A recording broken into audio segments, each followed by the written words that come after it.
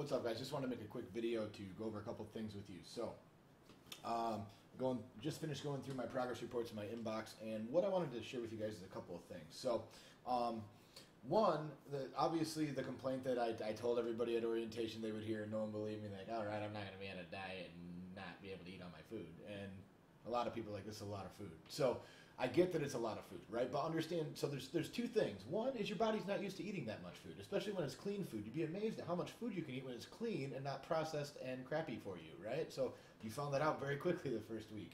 Um, keep in mind too that your body has to adjust to this. So um, don't eat to the point of puking, but remember that as your coach, because this challenge is different and it's based on macros every single day, right? So if you aren't consistently hitting your macros every day, we as your coach need to know that in your progress reports. And the reason I say is because it's very hard for us to adjust things if we don't know how consistent you're being. It doesn't make sense for us to move things until you're consistent. So what I have told people, and, and honestly what we're trying to do, is the first two weeks we're not going to adjust anything. Um, we're not going to adjust anything until the end of next week when you send in your progress reports because we don't need to. Um, it's only been four days since you turned in your first report. That doesn't give us enough information to go on of how your body's responding. Now, most of the progress reports that I went through on my team were incredible. Um, everybody who really did their did their due diligence and hit the macros um, really had great results. And even the people, um, if it's your first challenge, and or even if you're just getting used to how we're doing this challenge, um, you, you, guys did great, and understand that it's only been four days. You're going to mess up. You're going to learn things. A lot of people like, I didn't realize I had to count this, or I didn't realize this, or I didn't realize that. But you know what? You picked it up on it. You realized you were doing something wrong, and then you fixed it. And that's the point, guys. Remember, progress over perfection, right? Like we're not going to be perfect. We're never going to do everything the right way. But as long as we're learning and we're not making the same mistake twice, and we're moving forward, imagine if you do that over 12 weeks how great you're going to be at this. It's going to be absolutely incredible, guys. And so think about it long term. So always take a big step back and go long term. Even in the first week, how much did I learn? I mean, look at it in four or five days. You learned a ton of information, and that's the best part. So I want to commend you guys on that. But the second thing I want to go over is I, have had a lot of people asking about cheat meals, and it's mainly people from our old challenges, um, current members who are asking about a cheat meal. And I'm going to explain something to you very quickly. So this way, if you're a new challenger or, or, an older member, uh, current member of our program, um, you kind of know exactly what's going on. So if you're not hitting your macros consistently and you're deviating from the plan and you're having little mini cheat here or there, why would I give you a cheat meal? That doesn't make any sense. So if you're not hitting your macros consistently, I don't know how your body's responding. Why would I then want to sabotage your body and just flood it with a bad meal? As, as a nutrition coach, I would never do that. That doesn't make any sense. So I'm going to tell you guys the same thing. If, if you really want to earn a cheat meal, okay, because remember, we will announce, we will tell you when you can have a cheat meal. We will give you a game plan for when you're going to have your cheat meal. But understand that not everybody might be having one. And the reason I say is because if you're not being consistent for a two week period, why would I then sabotage you and make you start back at the beginning when I don't know how your body's actually responding to the numbers that I'm putting into it? As a coach, that doesn't make any sense. So understand that a cheat meal is earned, it is not a given. You don't just automatically get one. You have to be consistent. The reason you have to be consistent is that way your coach can see exactly how your body's responding. Um, that's why we do cheat meals on this program.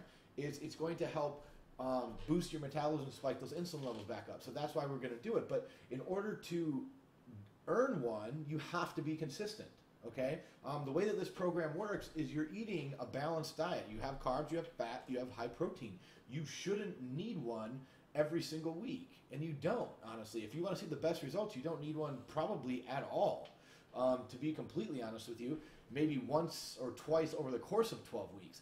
But that being said, if your coach decides that you are allowed to have a cheat meal, or you think that you've been consistent enough and you've seen the results that you've wanted to see, and you've deserved a cheat meal whenever we designate that you can have one, um, understand that you need to be consistent in order for that to happen. If you're not being consistent and you're already, you know, oh well, I went out and I had girls' night, so I, you know, I messed up on my macros, or I went out and you know, I went out to dinner and did this, I messed up on my macros, or I went out and blah blah blah. It doesn't matter what the case is. You already had a cheat. You're not getting one. Period. End of story. I don't want to hear it. Um, and the reason I said I'm not trying to be harsh, but ultimately, I can't. Your coach can't possibly predict the forecast of your body. It has to be consistent effort, or I don't know how changing things is going to help you. Do you do you see what I'm saying? Do you understand the, the principle behind it now?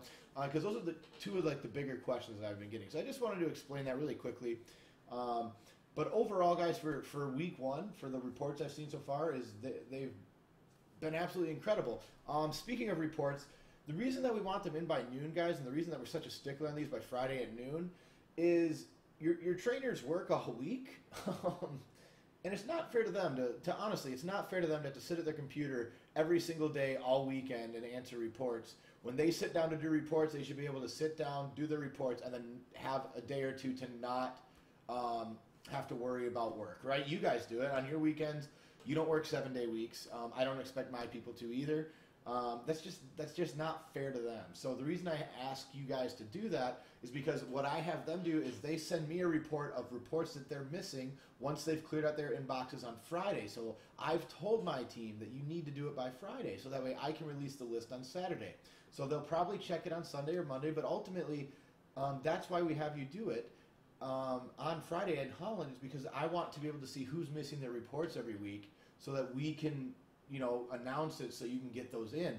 But it's very, very unfair to your coach to do that. Um, they should not have to work extra special for you because you didn't want to do something that takes five minutes to fill out. That's not fair, guys. Um, so please be aware of that. Um, if there's any other questions going on, though, remember week two, your macros aren't changing. You're doing the same consistent thing. Um, your weight loss should actually pick up now that it's been four or five days. Your body should start to get used to that. Metabolism starts to be revving up. Uh, so be aware that you know you're not going to have. Remember how when we used to do in the old channels, we used to do this deplete weeks where you'd have like a bigger week. You're going to have decent weeks every single week, right? Because your body's getting used to this. So the only time we need to change your macros is when you stall out. So understand again, in order to adjust your macros as a coach, consistency is key. So I just wanted to explain to you guys a little bit about the consistency, the cheat meals, um, and, and, then just a, a little thing on the reports too. But thank you guys so much for this first week. I am going to go watch a little bit of football, and then I'm going to come down and check my emails again. So have a great, great rest of your weekend, and we'll see you Monday.